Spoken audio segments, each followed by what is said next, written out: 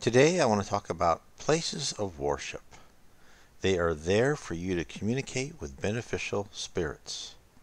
Whenever a new church, temple, or any gathering place for spiritual guidance is created, spirits take a hand in the planning and construction of that site.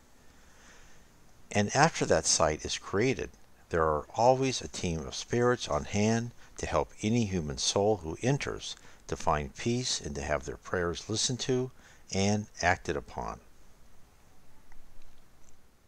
Let's take this church as an example. When I came into this church, I could feel the presence of spirits.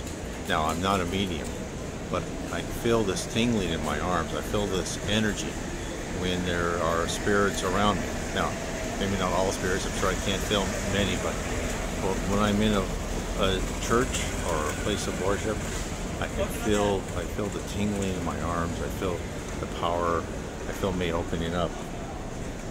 Let's go in here and see this for a little bit more. Let's turn around here for the church. Beautiful church. I'll show more of this in one moment. Spirits talking to the Reverend G. Vale Owen said, Don't underestimate the care that they take in the construction of churches and temples and any other places of worship. The symbolism is extremely important.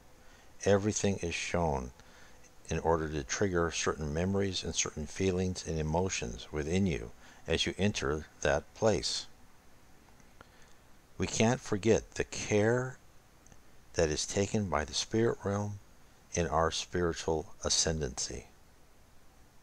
These places are there for us to learn, for us to feel the serenity, to feel that becoming more spiritual, loving, kind, and fraternal, honest person is worth every effort. Hello. Spirits have told the Reverend G. Owen that in any church or temple or place of worship, there are spirits who take care of it. And when you go inside, it makes you feel differently. You can feel the presence of spiritual power. They are there, they take care of it, they answer prayers, they at least uh, they pass prayers on. It's very interesting. So there is a special spiritual power to places of worship. And the spirit world places special significance in their building, their construction, who's there, and how they raise money, everything. In fact, for the Reverend G. Vale Owen, they made sure that his church was given some bells for his church. They actually helped organize, they picked uh, one of the uh, altar boys to help raise money. They helped them raise money through, of course, inspiration and other people giving to them. So all this information, yeah, I just wanted to tell you. So the spirit world is always deeply connected with us. We are truly loved. We're truly taken care of.